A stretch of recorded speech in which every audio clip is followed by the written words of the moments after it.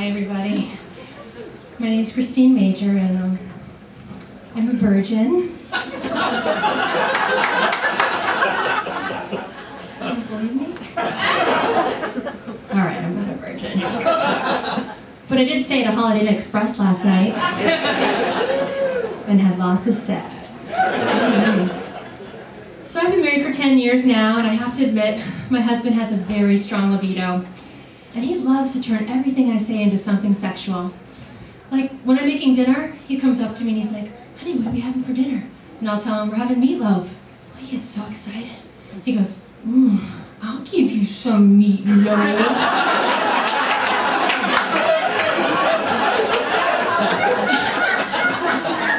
How a little meat in your loaf? and then I'll be brushing my teeth and he'll come up to me and he'll go, I'll brush your teeth. Is that a little plaque in there, honey? I'll get rid of that plaque. I'll fill your cavities.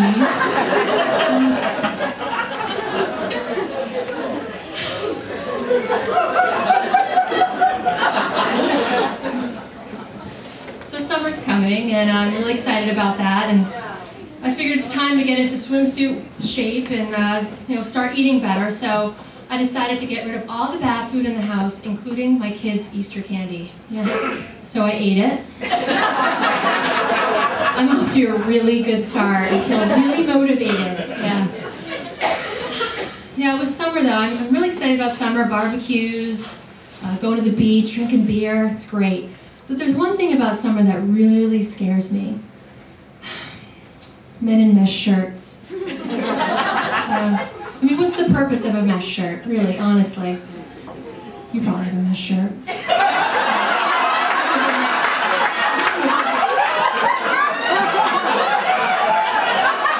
I mean, come on, seriously. I can see right through them. Your nipples are hanging out. Your hair's trying to break free from your chest and your back. Disgusting.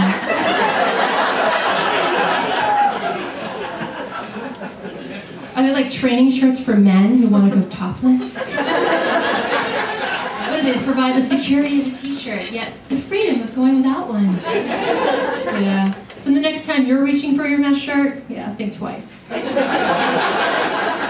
Mesh shorts, on the other hand, might be You might not have a problem with that.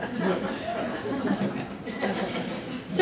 Husband's having a lot of sex lately, just not with me. I've been finding lotion around the house lately. Yeah. you too? Yeah. By the bedside table, you know, next to the computer. You know, the normal places you find hand lotion. You know? So I thought, you know, oh, my husband just wants a soft hand, so, you know, when he touches me, it doesn't feel like sandpaper. Yes. No. Yeah.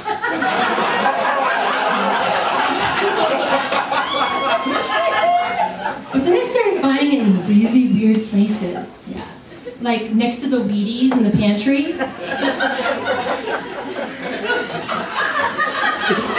I guess it's part of a complete breakfast. And then I found it next to my shoes in the closet. And I thought, oh, he wants to give me a foot massage. Yeah. I didn't get a foot massage. But then I got really nervous when I went down in the basement and I found the hand lotion nestled between his hand tools and his power back.